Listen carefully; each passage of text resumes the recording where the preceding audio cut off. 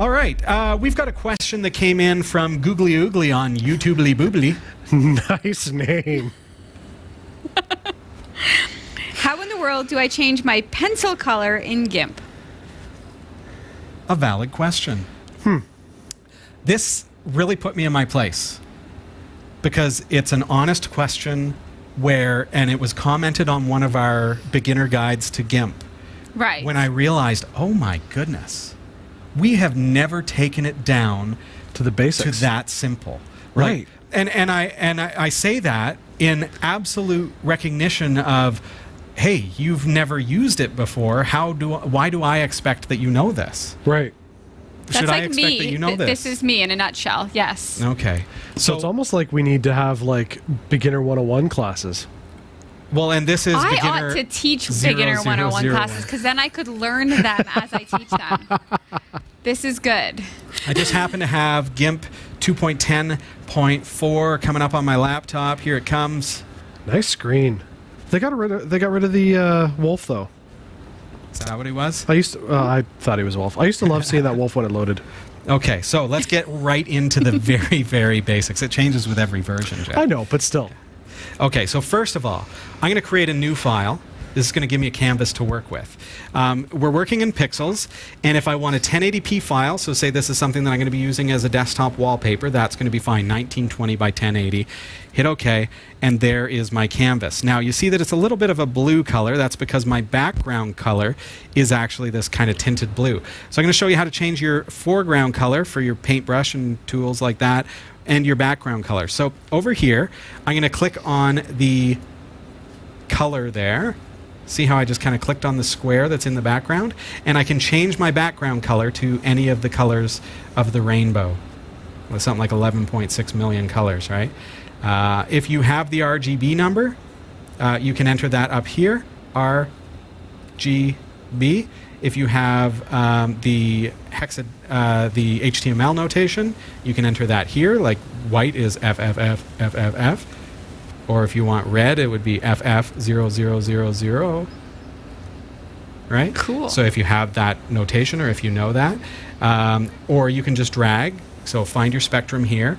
Remember, I'm working with the background. So if I find, say, some green and I find like a deep green here, and then I hit OK, now my background is this deep green color. And if I right click and go edit, fill with background color, now that's the color of my canvas. But what I want to do is I want to actually fill it with white. So let's see if my foreground is white right now. It's not, it's fee fee fee fee, which is just a little bit of a gray white. So I'm going to go, see what I did there? I'm just dragging this tool here, which takes me right into the corner up here, and that gives me full white. So now if I right click and go edit, fill with foreground color, now it's completely white. So now if I change my background to my foreground and my foreground to my background by clicking on this little arrow up here, now my foreground color is green. And again, I can change that any way I like. So say I want it to be like an orange color. So I can go over here to the to the spectrum and then bring it up into the orange that I want.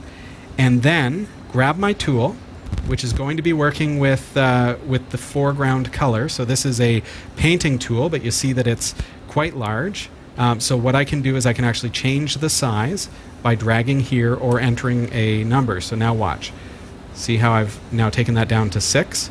So I can change that to be a little more, you know, like a pencil. And there is a pencil tool too. So you can grab that. And it looks like that. And it operates very much the same way. You can change the size, and that will change the actual brush size of your, your pencil. Okay? So I think that that answers the question at hand. The next thing that you'll want to learn how to do, so if I fill this in with white again, uh, so fill with background color now, and then I'm going to select none because I just selected all because I, I do that out of habit. Watch what I can do here. I'm going to go right click and layer and then new layer. And then I'm just going to say, okay, leaving this as a transparency layer. So here's the fill with. We're just going to leave that transparency. Okay.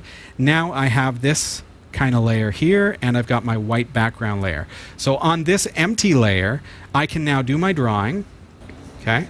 So I'm not going to actually draw anything. I'm just using a touchpad on my laptop, but just to show you. Now, if I turn off the background layer, you can't really see it, but it's still there. So now what I can do is I can actually change the background color. Let's use something like a, a pink fuchsia and fill that in, and the orange stays the, stays where it was because it's on its own layer. See that? Ah. So I'm highlighting the layer that I want to work with and then changing that layer however I want. So in a case where, you know, I'm drawing a person or whatever, this is really starting to look like SpongeBob. like an evil one. Okay, so say that's what I did, but I I wasn't happy with it. Now I can actually just turn off that layer or start again or you know, once you've created something where you've got layers upon layers, I think about like you've drawn the body and then you create another layer for the eyes and you're not quite happy with the eyes so you can scrub them out mm-hmm. without Right. affecting all the other layers Yes. if that's what you wanted to do. So tonight we've covered kind of creating our canvas, changing our foreground and background color, plus changing the color of our actual canvas background, and creating layers so that we can add things on top of that. Can you have as many layers as you want? You can. You can have an infinite number of layers on the GNU image manipulation program. So here, now if I wanted to make the body separate, I could create yet another layer. And okay, and then start working on the bod. All right. yeah, all right. Look at me. I'm an artiste. Don't know where my daughter gets it from. It is not from me. Uh, so now I can turn off the body layer, or I can turn off the head Oh. head layer, and I can in fact name these Sasha just by double clicking, and I can call this head, body, so that when I get really going, I don't get confused which is which. Right. So now I can also t- do things like, hey, let's fill in that head. So let's use the magic wand, touch it, and then right click and fill with a different color. So let's pick a different color here. Let's Yellow. make it yellow. Because it's SpongeBob, right? Yeah. Okay, edit, fill, and see what I've done there. really, Such really skill. sloppy. I know, I know, but there's his head Right. and his square pants. No, not really. Wow. Not really. But it's about what we learned here, not the artisticness of my drawings. I thank you. That's the GNU Image Manipulation Program, also called the GIMP.